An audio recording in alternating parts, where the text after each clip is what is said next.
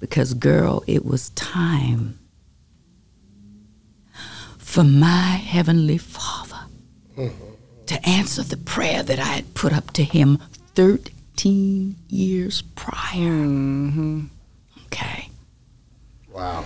Yeah. Oh, devil, you just got your butt kicked. And that's beautiful, man. I I I I can tell that it was something because I know so many people lives changed behind War Room. Mm. So many, man. I already know it.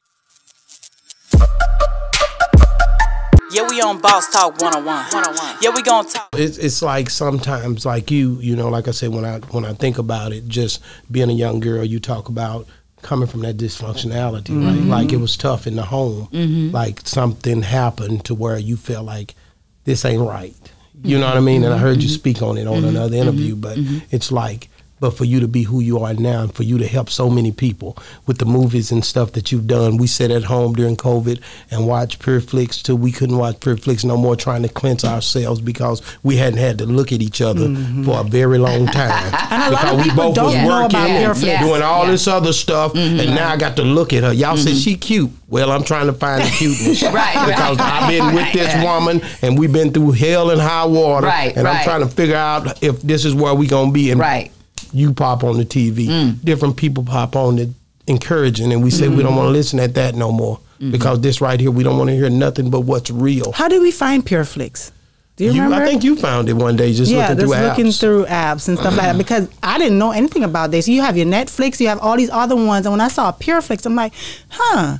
It's just the name alone Mm-hmm, sound like mm-hmm, okay. Mm-hmm. So when you look through it, I'm like, okay, no cursing, nothing really, Mm-hmm. you know, no sexual, no this, no that. I'm like, okay, this is a great platform. Yeah. So you know, that's when we Thank you. started Oh, you're watching it, and we're like, and then we found you have so many different films on there, and then of course, War Room is one thing that I'm telling you that if y'all. I shared War Room Clara. on Facebook like a million times Look out, Miss. Cla- Hey, listen. because being married, I would tell everyone She that do this tell is- everyone. Even today, I, and I would get so mad if when I follow up, I said, "Did you watch it yet? Did you watch it yet?" do this all the time. And they say no. I'm like, "You need to watch this, Yeah. because when you call me, and tell me you having this, this, this problem." You need to watch this. I'm not going to tell you what to do, but you need to watch this. This will help you. And anytime I feel like I'm having problems in our marriage, mm-hmm. I will pull up that movie and watch that movie because to me, I don't want to give no spoilers, but you realize that you're not fighting. I'm not fighting him. Mm. I'm fighting somebody I cannot see. Followed you like I should. I need you right now. You understand what I mean? Yes, ma'am. And every single time I watch that movie, there's one part that gives me goosebumps, and it's when Priscilla, like, it- she she sends the devil out of her house. I don't know where you are, devil. But I know you can hear me. Yeah. And say, get out. You can't have my marriage. You can't have my daughter. And you sure can't have my man. And then she shuts the door and then she come back again and say, and as a matter of fact, mm-hmm. And another thing, I am so sick of you stealing my joy. But that's changing too. and I get goosebumps every single time she does that. My joy doesn't come from my friends. It doesn't come from my job. It doesn't even come from my husband. My joy is found in Jesus. Let me ask you a question. Like Yes. when when you was preparing for that part, um, just give me a spiel. I want to I want to run down like like walking up to that situation, how it even came together. Like How wanna did she get that part? No, I want I want I'm I'm asking you. Like I want to know. Oh, it it it uh, some deep divine stuff. See, when when when uh, things are lean, and you're still trying to do the right thing, and these roles are coming, and they're not good for you to take, and you're like, mm, how can I talk my way into it, and or whatever, and it not be so bad? But I made a choice that I was going to. Um, be God honoring with the projects that I take. I love that. I had gone to a Women of Faith conference, and in between the different women speaking, they had a um, an actress who would do different scenes and monologues named Nicole Johnson. And um, she was killing it too. I had never seen anything like it, and I was like, "Okay, God, if you would just allow me to use the gift that you've given me, the way you're allowing her, I'll give you everything that I have." I didn't want to be Nicole, but I did want him to use me in a mighty way. And so, as the years went on, and the years kept ticking, I take this, that, this, that, but. I got more involved in my church, writing, directing dramas and whatnot. And then um, me and my husband, we thought it was us who had decided to leave LA. But I realized that that was not the case at all.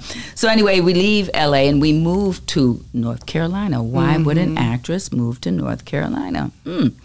So, anyway, we were house hunting, and um, the last realtor to show us a house uh, saw a license plate on my then Ford Windstar minivan and it read the book. I had a van. I've only got one child, and I had him when I was 103. and baby, I was on my knees for him for a long time, and then God did honor it. Oh, but wow. we we were fostering. So I needed a van to carry my foster kids around.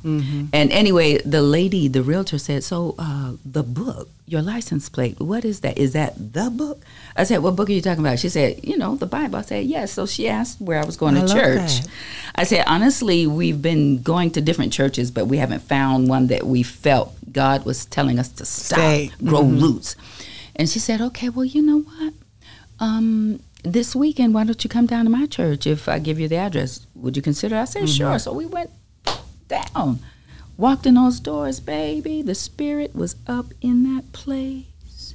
The doctrine was sound. You always have to check your doctrine. Exactly. You can't let anybody just That's tell you whatever because there's a lot of crazy coming Especially when you know it. Mm, that's why you got to know it for yourself. Mm.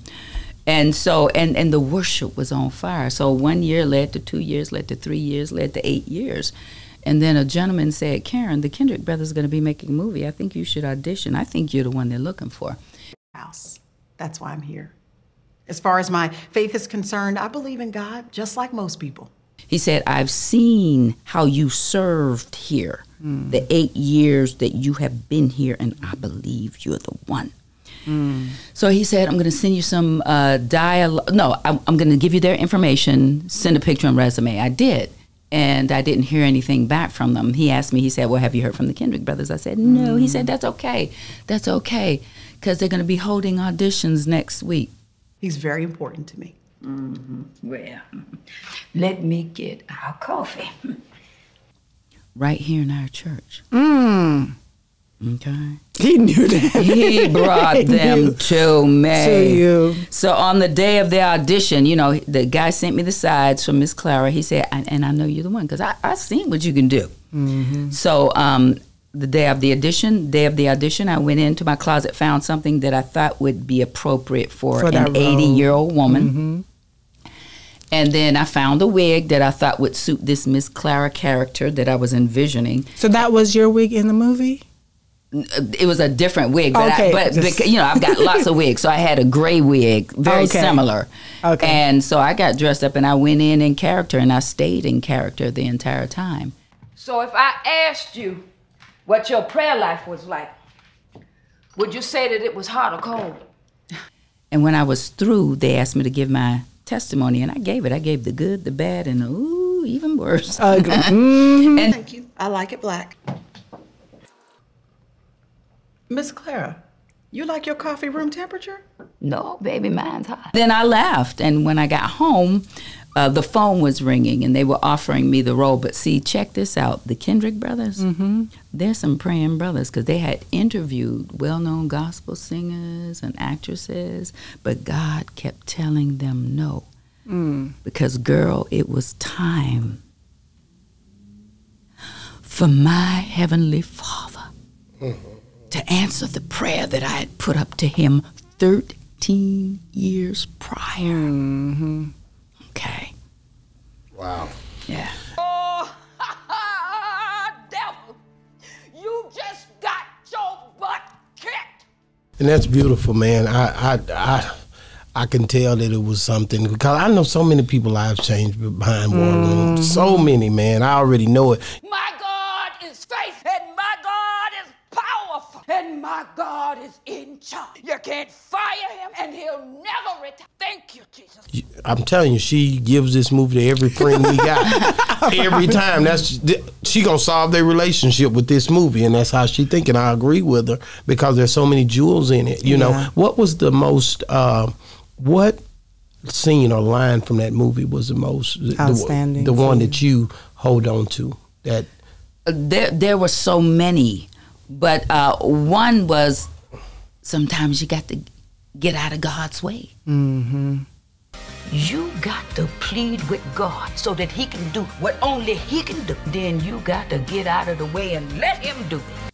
You know, you can pray and you can talk in tongues and you can do a whole lot of things. But if you don't leave space for God to come in and do what He says He will do, you know, because then we're, we're sort of like becoming God, not realizing, well, I'll, I'll do it, I'll do it. No, just sit back. You got to trust.